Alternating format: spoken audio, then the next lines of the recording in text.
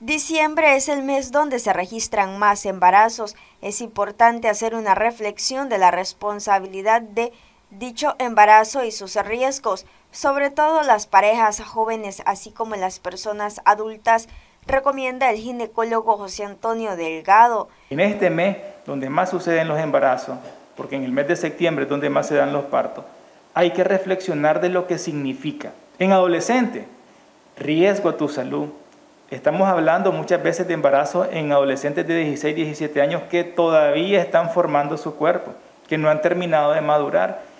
Adolescentes que no tienen trabajo, muchos de ellos en la mitad de la secundaria, iniciando o terminando secundaria, no han entrado a la universidad, no tienen un trabajo. ¿Cómo van a mantener económicamente ese hogar, a esa familia que se está formando probablemente como un de repente?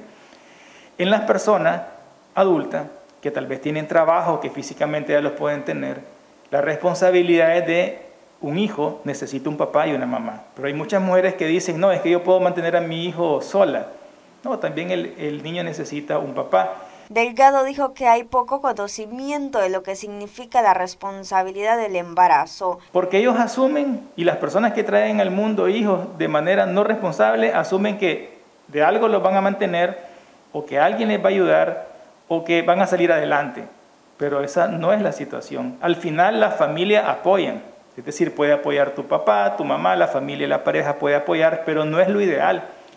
Lo ideal es que la pareja tenga la capacidad física, económica, emocional y psicológica para poder mantener un embarazo y traer un hijo al mundo.